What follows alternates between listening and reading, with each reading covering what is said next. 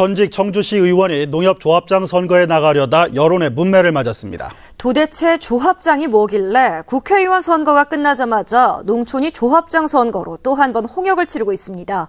보도에 신미희 기자입니다. 청주의 한 회원 농협. 조합장이 대출 과정에서 뒷돈을 받아 직을 상실해 다음 달 4일 선거를 치르는데 후보가 5명이나 됩니다. 또 다른 농협은 조합장이 선거 과정에서 돈을 뿌렸다 당선 무효형이 확정돼 다음 달 26일 보궐선거를 준비하고 있습니다. 7명 이상 될 것 같은데요. 7명 정도가?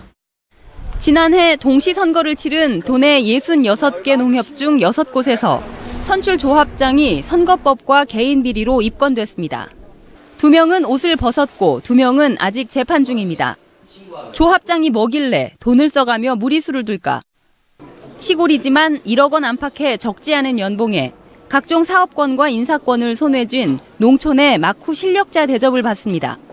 이 때문에 농업정책위원장까지 맡고 있는 청주시 의원이 조합장에 출마했다 여론의 문매를 맞고서야 중도 포기하는 상식 밖의 일도 벌어졌습니다. 12년, 9년에 조합장을 두번 출마하셨어요. 1년에 좀 한번 개인적으로 좀 열심히 해보려는 의지가 있으신 것 같아요. 농협중앙회는 문제가 생긴 농협에 자금 중단으로 맞서고 있지만 비리는 사라지지 않고 있습니다. 자금 지원은 물론 뭐 예산이라든가 보조, 이런 업무 지원, 또 점포 설치 이런 부분까지 지금 지원이 중단이 되고 있어요. 농협은 선출직 수장이 중도 하차할 때마다 수천만 원의 선거 비용을 추가로 부담해야 해 피해는 고스란히 조합의 주인인 농민들에게 돌아갈 수밖에 없습니다.